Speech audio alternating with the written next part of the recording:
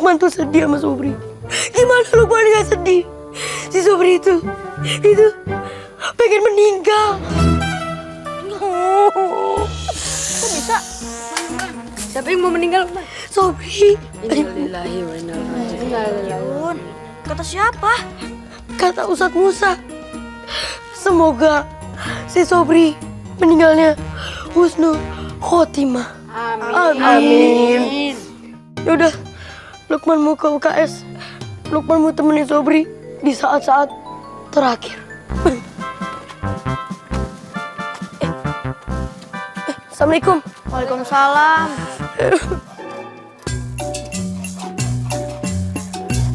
Assalamualaikum Pak RT.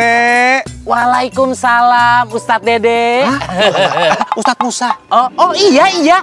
Begitu maksud saya. Yang baik dan santun. Oh iya. Eh, ini ngomong-ngomong Pak RT lagi apa ya? Saya lagi nuang pohon Pak Ustadz. Soalnya kan sekarang ini ada berita-berita suka ada angin puting beliung. Wong, wong, wong, wong. Begitu. Terus kalau pohon saya roboh, terus nimpa pondok pesantren Kunanta, gimana? Bahaya dong, bahaya dong. Ya kan? Iya iya iya iya. Tapi eh Afwan nih Pak RT. Hah? Itu yang dipotong atau yang ditebang rantingnya aja deh bukan pohonnya. Loh, gimana sih Pak Ustadz? Nih, ini ranting. Nempel di Di pohon. Ya, berarti saya nebang pohon juga dong. Gimana sih Pak Ustadz? Oh iya iya iya iya iya iya. iya, Ah, iya. betul kan? Iya iya. Tapi sebelumnya saya mau mengucapkan terima kasih sama Pak RT. Jazakumullahu khairan kasir.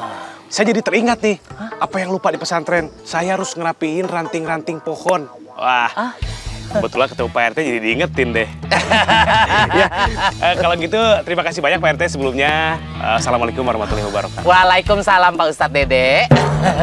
Ustadz Musa. Eh, iya, iya Ustadz. Musa. ah, Ustadz Musa. Nah, yang baik dan santun. Oke. Iya. Waalaikumsalam. Ustadz siapa? Ustadz Musa. Ah. Bener kan? Iya. Ah. Baik, terima kasih Ustadz Dede. Ustadz Musa.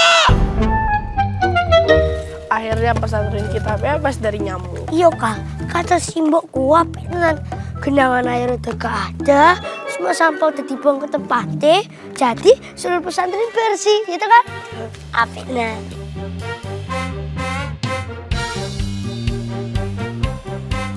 Itu Ustaz Musa kenapa? Nah, liatin apaan sih? Kok tahu kan?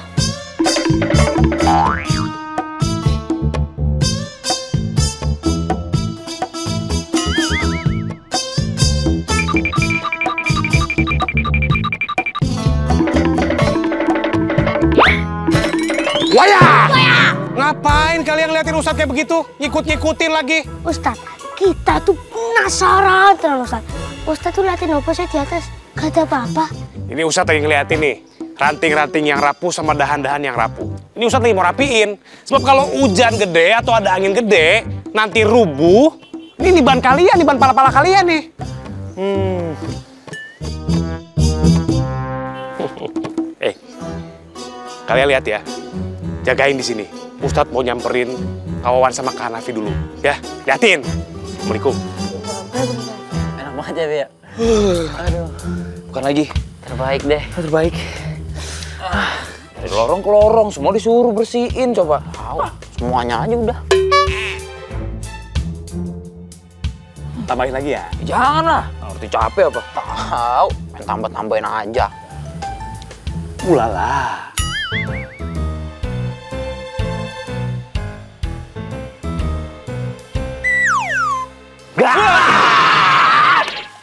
Bener, Pak Ustadz lagi kan?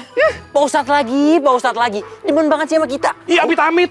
Demen-demen, enak aja. Saya tuh kesel, gemes. Lihat kalian duduk, duduk, duduk, duduk. Ini pesantren ya, bukan warung kopi ya. Kalau mau duduk-duduk tuh di warung kopi tuh. Hah? Kopinya jadi minum, guyur kepala. Aduh. Eh, sekarang kalian ambil gergaji di gudang, ya. Terus kalian potongin ini ranting-ranting yang rapuh.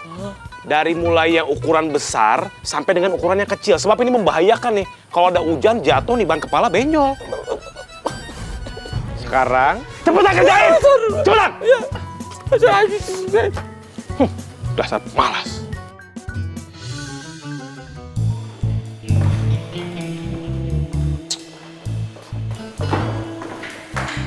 Lam. Ya, Pak. Lam, kamu jangan ganggu mama. Mama tuh baru keluar dari rumah sakit. Biarin mama istirahat. Ya, enggak kan cuma mau lihat doang. Oh iya, Pak. Minta HP lo, Pak. HP? Buat apa HP? Kamu harus segera balik ke pesantren, doang. Ya justru itu Lang minta HP Lang. Lang tuh mau ngomong sama pesantren Lang nggak bakal balik lagi ke sana.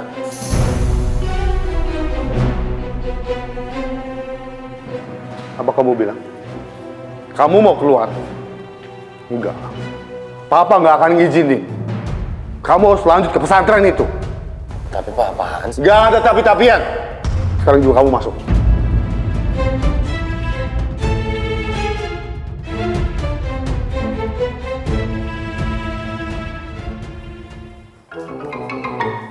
Sobri.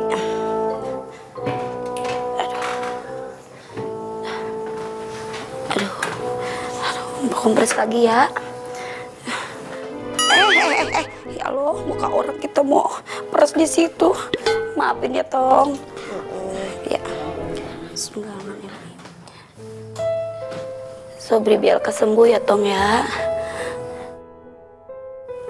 Emang kalau DBD bintik-bintiknya sampai ke kaki-kaki.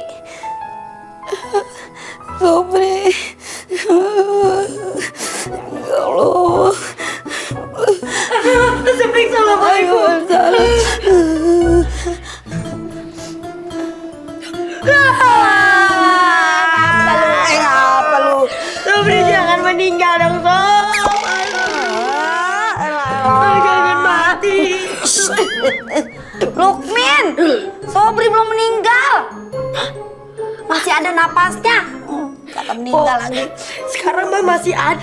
Nanti Meninggal juga. Eh, aduh, takut. Aduh, Lukman jangan ngomong begitu dong. Kok menjadi iseng ini? Waalaikumsalam. Allah, kasihan banget si Sobri. Ternyata nyamuk udah makan korban nyawa.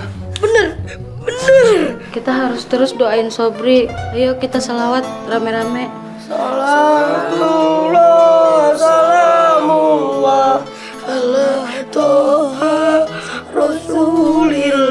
Assalamualaikum. Waalaikumsalam, Ustadz. Ulala, ini ada apa ya? Kok Sobri dikerubutin begitu? Tadi nggak bisa istirahat loh. Kita lagi doain Sobri Pak Ustadz. Kan kata Pak Ustadz, Sobri mah udah mau meninggal. Hah? Ih, wow. Sobri meninggal? iya. Sobri dong? Ya, iya Sobri. Kata siapa aku meninggal? Kata Pak Ustadz.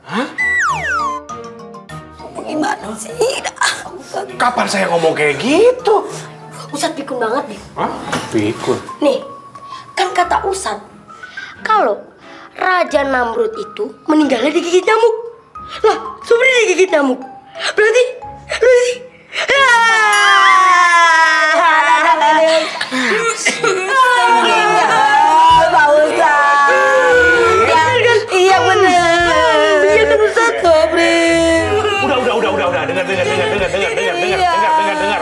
Aduh, kuman, kuman. Lukman Iya, abis kayak kuman sih, bikin orang resah.